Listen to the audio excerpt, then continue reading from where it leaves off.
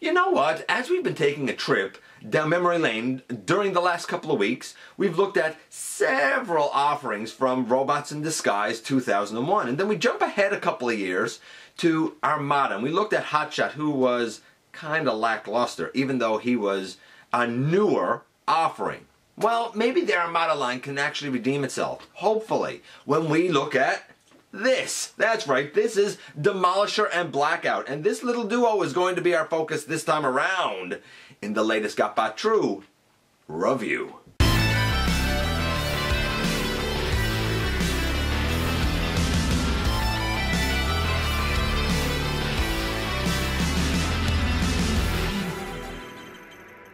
Hey one, hey all, welcome back to the channel. I'm your host, your most humble of hosts, Dennis Moulton, aka GotBot. As always, please like, comment, share, of course, subscribe, and light them up while you're at it, baby, and... That's right, hit that notification bell, please, because it helps me out a ton. It lets you know when content of all sorts goes up here on the channel. Check out Machinery of Man, The Everything Factor, Transformers, Collectors, NL, and the Autobot family. Have a look for me on Patreon and check out our items on Teespring while you're at it. And have a look for me everywhere across social media, man. All those links and more down in the description. And this is Demolisher with his Minicon partner Blackout. And I said in the intro that I was really impressed with the characters and the items that we've looked at from the original 2001 Robots in Disguise, or Car Robots if you prefer, line. They were done so well and kind of so far ahead of their time. And then we looked at Hot Shot. Now, granted, I'm not a Unicron Trilogy dude, and I'm really not a Hot Shot fan. Probably because he's so close to Bumblebee. We all know I'm not a huge Bumblebee fan. But I'd like to be able to find some things there that I enjoy. And maybe, just maybe, Demolisher can actually be the offering that does that. Hopefully. Maybe. We're about to find out when we head over to the table and take a closer look at this guy. And yes, indeed, here we have Demolisher and his Minicon partner Blackout. Blackout is actually plugged into the front of Demolisher at the moment. We'll look at him a little bit later. The two of these guys are sort of a, a bit of an odd couple with Demolisher being kind of uh, what, loyal, maybe to a fault at times to the Decepticon cause, even if not always loyal to Megatron. And then we have Blackout, who is very uh, independent-minded. He's always looking for action, but he's more true to himself than he is to anyone else. And of course, that makes these two guys kind of get at odds sometimes. Now, I'm not a huge fan, and I never have been of the Unicron trilogy, but there are a few bright spots, and Demolisher, at least for me, was definitely one of them. There's a lot of layers to his character, and it, the way he developed throughout the series, I thought was kind of fantastic. Uh, the plastic representation here was the very first one that we had for Demolisher. It was reused a few times. By the end of this of Armada, it kind of came out again in a red uh, deco to match the animation. There was a like brighter green deco that came out during Cybertron, I want to say, and then one that I would argue was probably the most animation accurate, arguably, that came out I think toward the end of Energon, which seemed like a weird addition to add to that line, but hey, whatever. Was this actually good enough? To kind of warrant so many reuses. Well, we're gonna find out. I can say this, he rolls really great. The turret, it can turn all the way around. The blasters, they can move up and down. The Minicon can unplug from the front. And you'll notice there's a Minicon port here that's red. And if we swivel this around, there's a Minicon port over here that's not red. Originally, my understanding is that they were both supposed to be red my understanding, again, and I could be wrong, is that this one over here, I think, is the one that can be used to um, activate a firing mechanism for two of these rockets. The other two, I think they're just static, maybe? Oh no, maybe they can come out. Maybe they can still come out, but they just don't have the firing mechanism. Maybe I'm talking about the wrong side. I'm really, I'm not sure. Let me put this one in. I'm going to double check that right now. We're going to check that right now. No, they, they do come out on both sides, but only one of them has the firing mechanism, and it might actually be this side over here. I'm not sure, but only one of the sides has that. Anyway, we'll worry about that later. Let's get the blackout first. So a heads up before we kind of move along, because I know that some of the fanboys are going to be freaking out. I was mistaken. It's not the red Minicon port on Demolisher that has the firing mechanism. It's the gray one over on the other side. We'll see it more in... Um, I'm not necessarily going to say robot mode. We'll see it more in a little bit when we get back to Demolisher. For now, this is Blackout. No, he's not the helicopter that many fans know from the live action movies. He is also, not the G1 Minicon, but he is a heavily armored little dude. Now, this is the configuration that's kind of between robot and his vehicle mode because this is the way he looks when he's plugged into the front of Demolisher. By rights, this satellite piece, I suppose, should be up, and the arms should be up like that. And he's his own little armored tank type of vehicle. Pretty cool if you ask me. It's functional enough for a minicon. What about the transformation though to robot? Well, again, we put the arms then back down, we put this piece back down, and all you're doing then is unfolding the legs and straightening them up and standing him up in his full robot glory. So what about his scores? Well, his coloration is largely accurate, though I do feel like the lower legs and the head, for example, like where we see red hair, I feel like that should be more of a magenta type of color. I could be wrong, but that's the way I feel it's supposed to be. I'm going to say it's about an 8 because I do think the orange is pretty much where it should be. I think the color on the arms is pretty accurate for the most part based on what I can recall of the character now. In terms of the transformation, he just unfolds really. There's not much to it, but it's effective, I suppose, for what it is for a little guy. Like it, I'll also say it's an eight for what it is. Then the articulation, the head does nothing, nothing. The arms can go all the way around, no elbows or anything. They might be on little ball joints, ever so slight out to the side, maybe. Uh, the legs that's as much of a knee back as you're getting, but yet there's because of transformation, there's a you know a full knee forward, and like you could do that. Um, I don't three, four. I just popped out a piece here, which it does like to do that. Uh, three or four, I guess. Um, I don't know. Overall, much like with Titan Masters and Prime Masters and Micromasters and all the other little masters, I, he's a five or so. It's all right. It would be nice if there was a little further range of motion on the shoulders, but besides that, it's fine for what it is. Okay, so my mistake was that I said this one over here was the one that had like the firing mechanism. It's not. It's... Can I get this all the way around? Yeah, I can get this all the way around. It's this one over here, the gray one. And when you take a Minicon, any Minicon, but we'll use Blackout since we have Blackout here, you can of course put him in right there. And when you first put him in, it like extends the kind of muzzle section, I suppose. And then as you push it, it fires both of those. Now there's it seems like there's two separate um, positions to fire the top and the bottom missiles.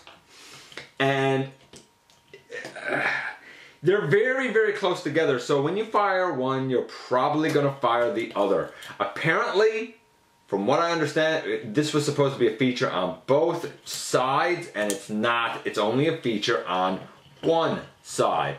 So there you go. It's it's it is what it is. It's a feature. It is what it is. Okay.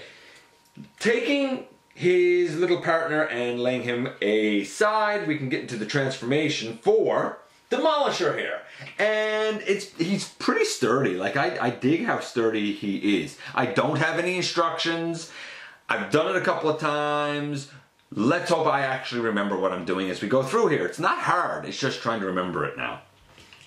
So, we take the legs off and if I'm not mistaken, yeah, we should be able to fold out the tread and then we should be able to fold this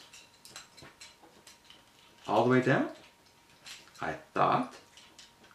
Yeah, you fold that all the way down and then you fold out a foot. And you can do the same on the other side. Pull out a tread, fold out a foot, fold the tread all the way down around. And stand him up. I'm just going to kind of reposition things so we can do the upper body next. Okay, so now that we have the legs done and things repositioned, we can bring this and this down and around and we can turn those around.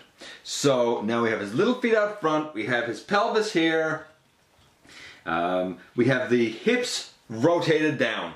Beautiful.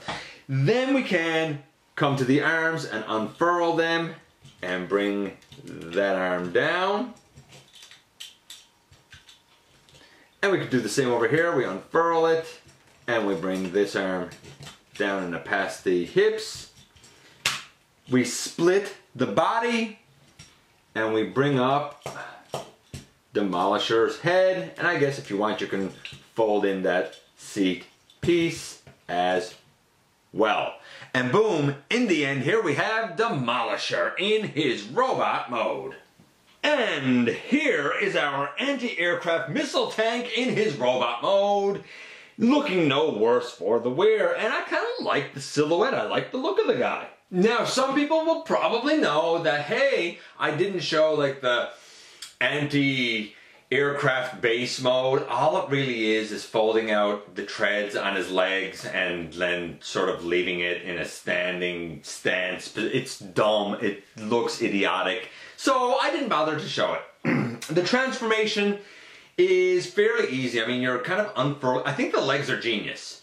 I really think the way the treads are done and the way the section over the treads folds up to become the thigh is kind of genius. Maybe not super duper functional, but kind of genius. The arms, they just fold down. There's so much more that could have been done there. And I kind of like the way you can split his chest open and lift his head up. I like that kind of sliding feature. I'm going to say overall, it's about, it's about a 7. It's all right. Because for as genius as the legs are, the way the arms are done is just sort of lazy trash and rubbish. Still, a 7 is an okay start, I guess. In terms of the coloration, well, we do have kind of correct coloration on the arms, though admittedly the green that's there should be a little more green than this beigey color. The chest is pretty accurate. Uh, the abdomen shouldn't be this like grayish color in here. It should also be kind of greenish. But the red is largely where it is. The way the legs is is largely correct maybe a little more green would be a help, but it's it's largely Demolisher. The only other thing that's not quite correct is that the face here is not that kind of beigey human color that it was on the animation. It's just black, though it is sculpted correctly. So you know it's Demolisher, there's no doubt. A couple of things are like a little bit off, Again, I'm going to say it's about it's about an 8. So we have about a 7.5 so far, I guess. Then we get to the articulation for the guy. We have no movement at the head. Doesn't seem like any movement at the head. The arms can go all the way around. And we do have an elbow, but no bicep swivel, no outward movement on the shoulders. Remember that this came years after Robots in Disguise. And no bicep swivel, no outward movement on the arms. Uh, the legs could go all the way back, all the way forward, no thigh swivel. We do have a knee to 90 degrees. I guess the heel, because of transformation, can go down. Um, disappointing. Oh, he does have a waist, which is nice, but overall, Here's the thing. This is on loan to me by friend of the channel, Maximal Tan. And I had seen this guy for years and thought to myself, you know what, maybe Get Demolisher. Like, I like Demolisher. Maybe he is a Unicron Trilogy character that I wouldn't mind having, uh, you know, a plastic representation of. And this, to me, is Why will you not stand up now? This to me is his most iconic body type. So this is kind of the body type I'd like to have. Unfortunately, I also think it's kind of trash. There's no reason that you couldn't have worked in a bicep swivel there.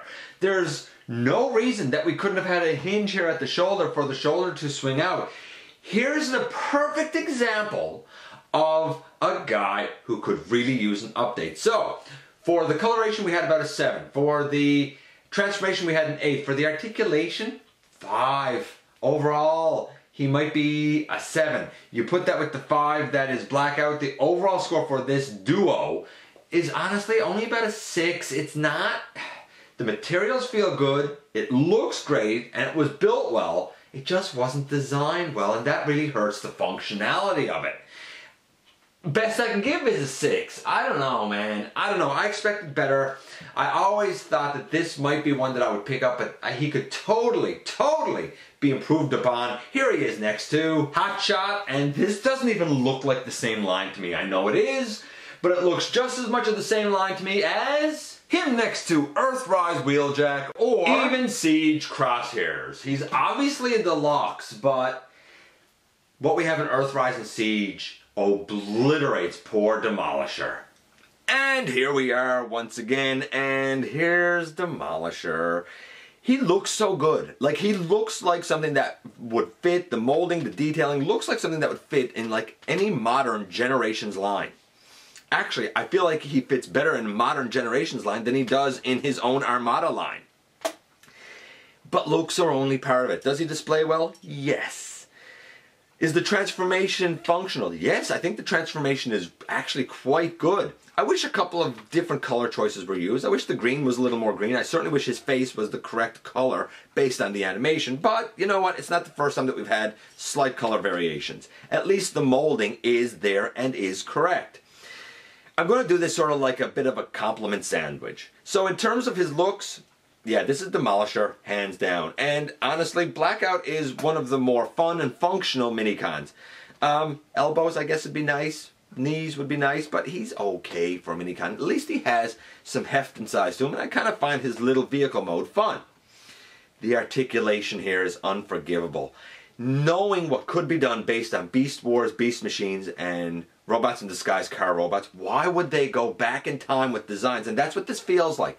This feels like they were taking a step back with designs and not doing as good. There's no thigh swivel. There's no bicep. The elbow is fine, but you can't you can't even extend the shoulders out. To, this feels more G1 than the three lines, if not more, that came before it. It's like we went from you know, G1, G2. Then we had kind of awesome articulation and increased mobility through Beast Wars right through robots in disguise. And then they said, hey, let's go back to the limitations of G1. That's what this feels like to me. But Again, compliment sandwich, looks good, functions eh, but the transformation is kind of fantastic and genius. I love the way the legs were done, and honestly, I sort of understand why they don't have the thigh swivel, though it would be nice if somehow, some way it could have been built in. I think I could have looked past the thigh swivel if the shoulders worked better. And there's no reason that you couldn't have put a bicep cut up here. There's no reason that you couldn't have put an outward hinge. None at all. Um, it's all right, but knowing what came before it and knowing this came later is kind of disappointing. At least it is to me. Let me know what you think about Demolisher. Is he one of your favorites, or do you see the same sort of criticisms that I do? You know I love to hear from you guys, and I appreciate it when you come by and give me some of your extremely valuable time. If you're in a position to help the channel to grow, don't forget that there's a donate link down in the description. You can visit us on Patreon. You can also visit us on Teespring all those, you know, methods, ways of helping. Don't forget though, just by being here, just by being you, and just by visiting us here today, somehow, someway, each and every day, you do make a difference.